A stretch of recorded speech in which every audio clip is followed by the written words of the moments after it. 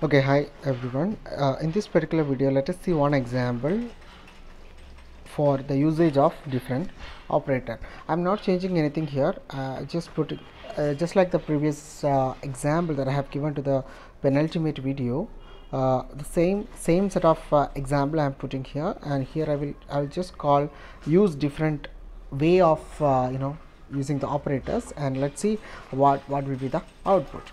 Now if i just put like okay printf so here have to be you have to remember that s is the variable pointer uh, a ps is actually a pointer variable. That's why you have got a star over here and ps equal to ampersand of s so that stores the address of s. Now if i if i just need to use different operators so i'm just putting printf print f printf percentage d percentage d and and i'm using s okay. S and that should have a backslash so that i need next output in the next line.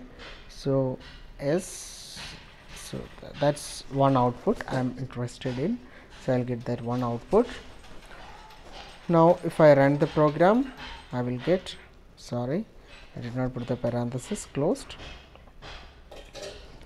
Uh, if i put s and return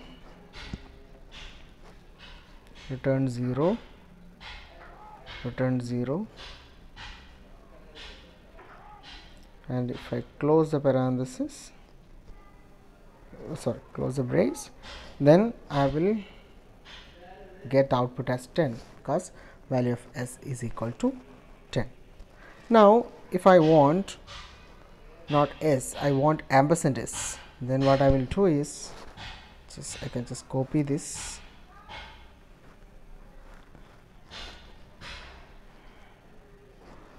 Just paste it over here. Instead of s I can use ampersand s.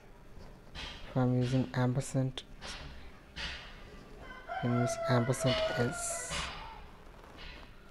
okay and if I run the program I get the address of s that is 13270134148 is the address of s now again if I want uh, value stored at the address of s so value stored at the address of s I can use again the printf function.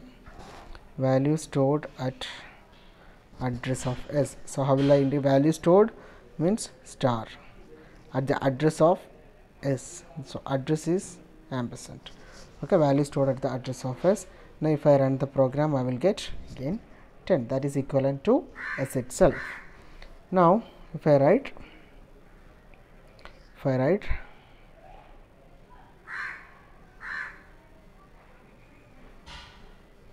uh, ps I, I need to call ps so I'll put here as ps and if I run the program I will get the address of s that is ps because ps is a pointer variable stores address of s. Clear?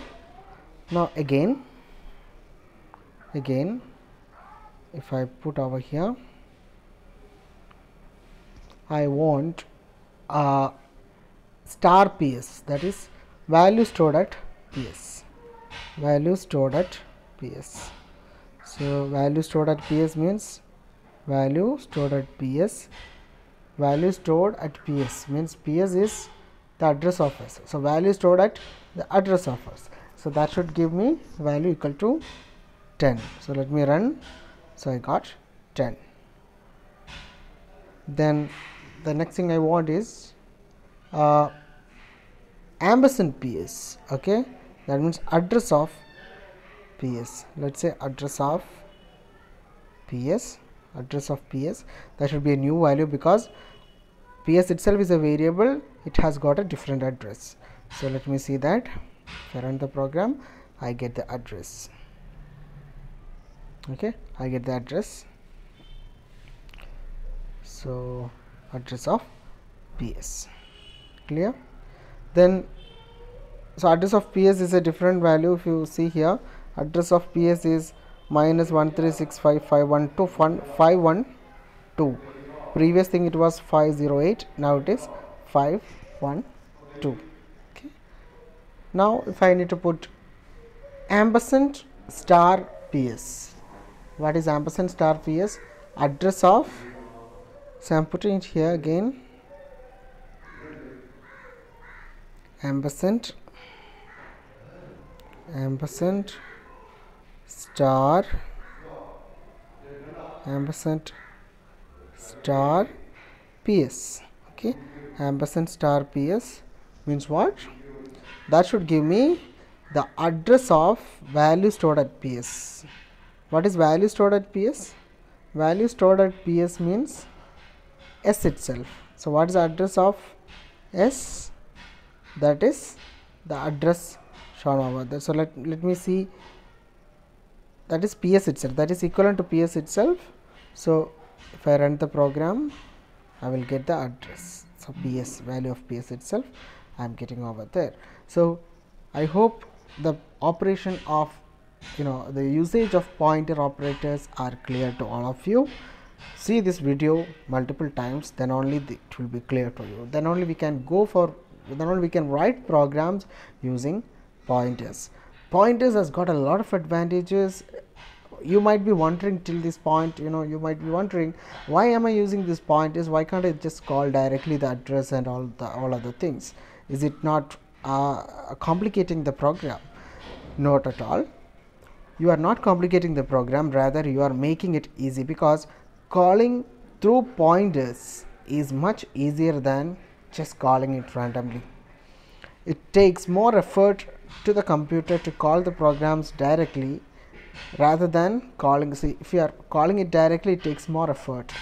It requires more uh, computational effort. It requires more uh, you know time. So if you are using pointers to call a particular variable the address of particular variable that is much easier for the computer. So it will make the program very fast and you know efficient so that's that's a basic idea of using pointers so we'll use the pointers in subsequent programs and how we'll see how it is going to work. I hope this video is clear. I will upload subsequent videos. Stay tuned. Thank you